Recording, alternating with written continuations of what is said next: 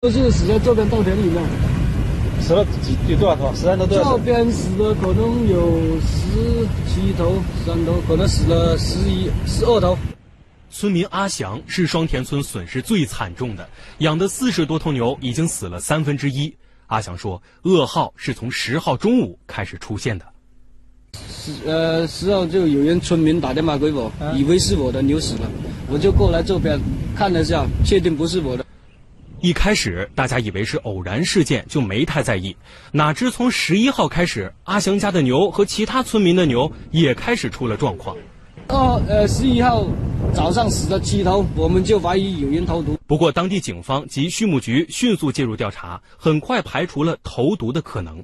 就在有关部门调查期间，村里依然不断有牛出状况。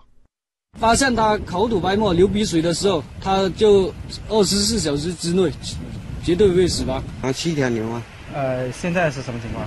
现在死了三条了。死了。阿祥说自己养了两三年牛，从没遇见过这种情况。看到牛发病，村里人也曾试着喂药救治，不过都没什么效果。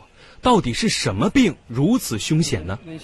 排除了人畜共患的，呃，这是疑疑病，啊，是细菌感染呃引起，是可控、可防、可治的。东源畜牧部门表示，事发后立即组织人员进行调查，并邀请省市专家现场诊断。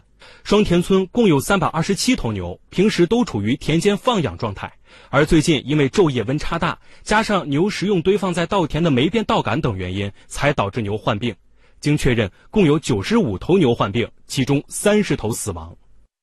呃，有六十五头的病牛呢，呃，经过治疗呢，已经是呃明显好转了。呃，病情呢得到了控制啊。目前有关部门已对病死牛做无害化处理，对现场也进行了隔离消毒处置，并发放消毒药物，指导农户使用抗菌消炎药物来治疗牛病。